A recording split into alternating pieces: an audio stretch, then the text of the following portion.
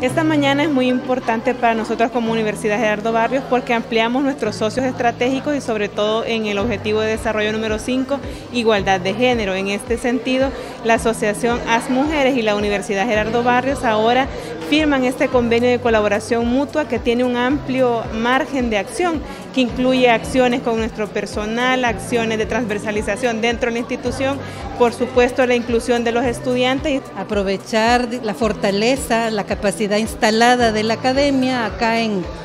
San Miguel a través de la Universidad Gerardo Barrios. Queremos eh, empujar sobre todo la investigación con enfoque de género y además queremos impulsar en la universidad que se pueda contar con las unidades de género, el enfoque de género, eh, la especialización de estudiantes en materia de derechos de las mujeres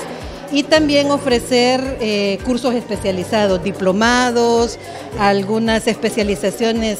eh, para personas que ya tienen su nivel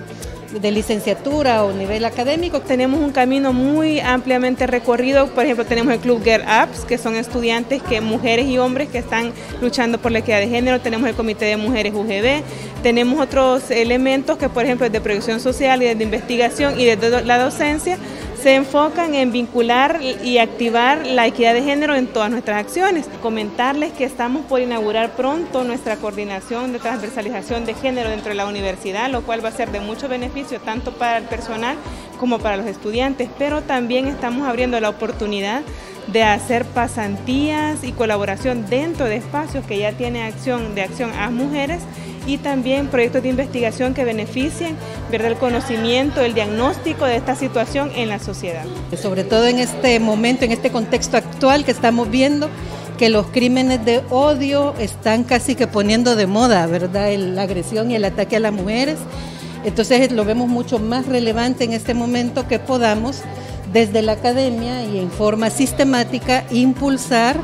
eh, el conocimiento, el estudio y la comprensión. La población femenina de nuestra institución anda en el 49% de mujeres y el 51% de hombres. Estamos casi equitativos, sin embargo un, dato importante es que el, equipo gerencial o directivo tiene el 52% de mujeres y el 48% de hombres. Por,